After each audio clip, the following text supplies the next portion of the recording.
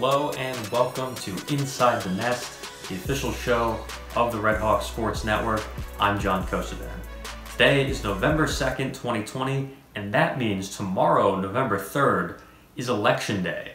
So we here at RHSN would like to encourage everyone to go out and vote if you so choose, because like sports, voting is a shared experience. It's one day every four years where all Americans can come out and exercise their right to be heard. So speaking of that, this week we asked some MSU athletes to talk about the voting experience and what it means to them. Check it out. Hi, I'm Claudia Challender from the field hockey team, and I just want to encourage you to participate in the upcoming election as every vote matters and your vote could make the difference. Voting in general is very important, but I think this election no matter what your political views are or how you feel about one versus the other, I think it's just really important to get out there and share your views and do what you can to really make a change. Um, so yeah, vote. I'm voting because I want to make a change in my generation. I want to improve my community, and I want my voice to be heard. And I am both grateful and empowered to vote, since many years ago both women and African Americans did not have the opportunity to. I voted because I think it's important for our generation to get involved, that our voices be heard, and to make a difference. I think voting is super important because we have the chance to put who we think is best fit for the job in office. Um, this election is super important because there are high stakes on both sides. So I say do your research, know who you're voting for, and I'm proud to say that I voted in my first presidential election. I vote because not voting is not having your voice heard. Every citizen should have their voice heard, and there's no better way than doing that than voting. So, go vote. It's always good to see such enthusiasm for something so vital to the democratic process. Vital to the Montclair process, though, are Red Hawks sports, and like voting, they've obviously been heavily affected by the COVID pandemic. Fortunately, we have an alternative to polling in the form of mail-in ballots, but as far as I know, there's no way to mail in sports so we had to go without them this semester. The same can't be said for some other schools in the NCAA. More on that, Sonny Bartel. The NFL and major college football have been competing for several weeks, with the Big Ten the latest conference to resume play. Montclair State's football team recently started practicing and will begin play in the winter and the spring. So, what's the difference? It comes down to budgets and NCAA testing protocols. We don't have the same budget, the same resources um, it, it's it's two different you know worlds in a lot of ways between the Power Five conferences and almost everybody else, and certainly Division Three. The decision to cancel the fall sports season due to concerns related to the COVID nineteen pandemic was made by the New Jersey Athletic Conference President's Council in July. Chesney is optimistic that when the tests become affordable, Montclair State athletics will be back. As these tests become more uh, available and uh, more affordable, then it gives us an opportunity as we move forward. Of course, football isn't the only fall sport that has been affected. The NJAC sponsors fall sports including men's soccer and women's soccer, along with many others. Every fall athlete had a test before coming back to campus this semester, and each athlete has been tested twice since their return. For seniors such as quarterback Jaquil Birch, it'll be business as usual once the Redhawks take the field. We, we, we want to keep the virus under wraps for now, and we, we got to take that one day at a time. But once we get back, it's like I said, the, the Red Hawk way, it's the same. We're trying to go out and win a championship in any season, the spring, fall, the winter, summer. So that's it. The Red Hawk way doesn't change.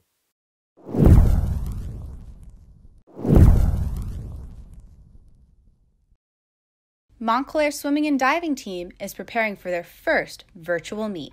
A meet unlike anything the team has competed in before will be hosted virtually at four separate schools. Virtual meet will be a merging of results in real time. Uh, we've never done one before, and quite honestly, I've never been a fan of the concept. My assistant and I, uh, Maria Vera, kind of put together what I think is a nice order of events to kind of mix it up.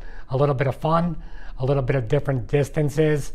Uh, so I'm actually looking forward to it. The beauty of the sport is it's all time driven our swimmers know, we all know as a coaching staff, it's when you touch the touchpad and look up at the clock, that's what matters. While this meet is not NCAA sanctioned and scores will not be kept, There will be an impartial third party located at each team's location, keeping track of the times.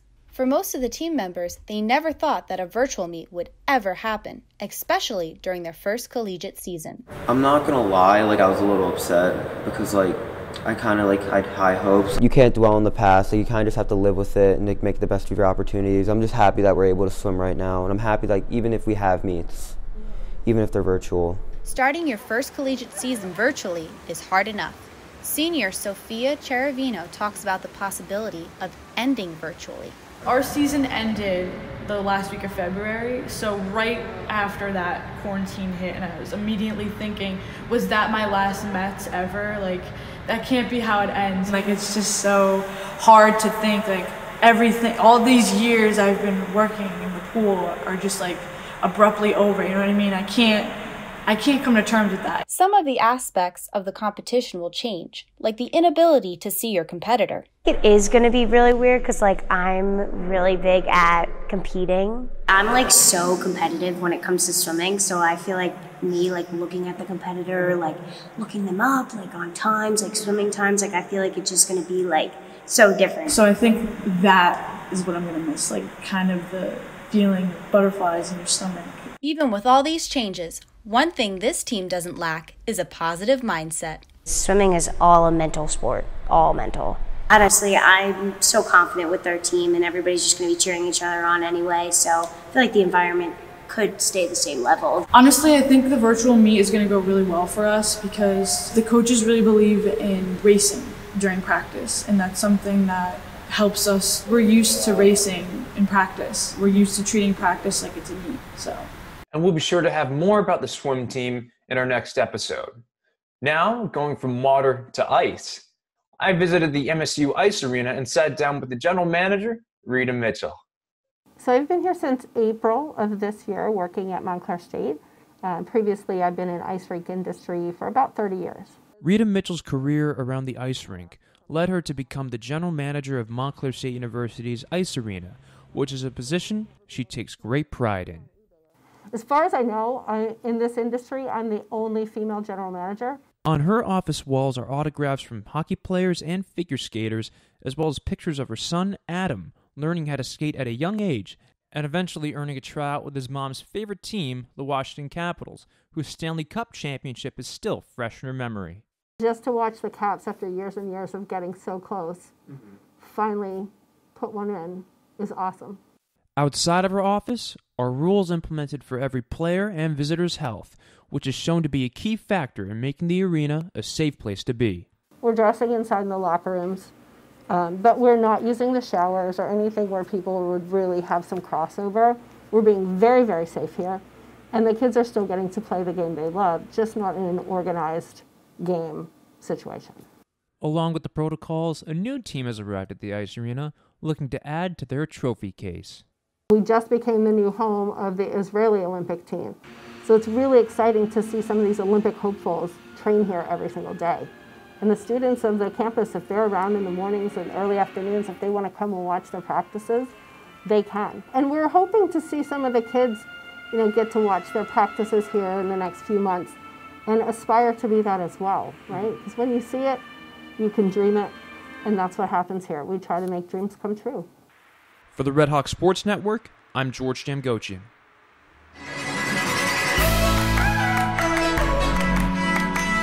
In this year's fall semester, the only football activity are practices, like the one behind me. But exactly a year ago today, on November 2nd, 2019, the Red Hawks were down in Glassboro, New Jersey to face off against Rowan University as the season winded down. Let's see how it went. The Redhawks put all their fighting spirit into this one.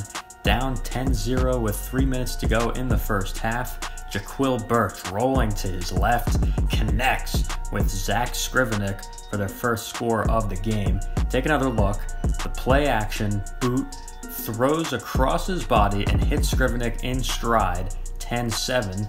That was the first of three TDs for Birch on the game. Here's the second one 56 yards to Kason Campbell ties things at 17 to the third. And then, with five to go in the fourth, this absolute bomb to Carson Johnson for the score. watch it again. Montclair takes the lead on a great leaping catch right there.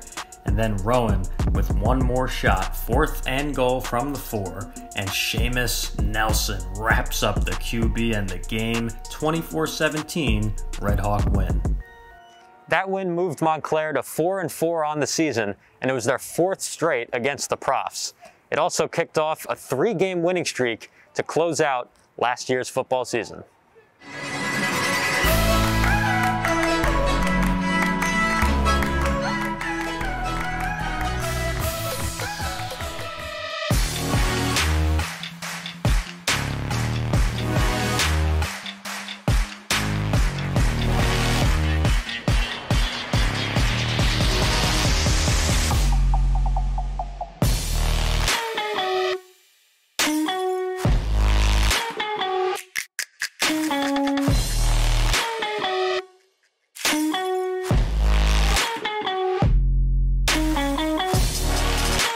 That's a wrap for this week's show. You can catch us next week, same Hawk time, same Hawk channel.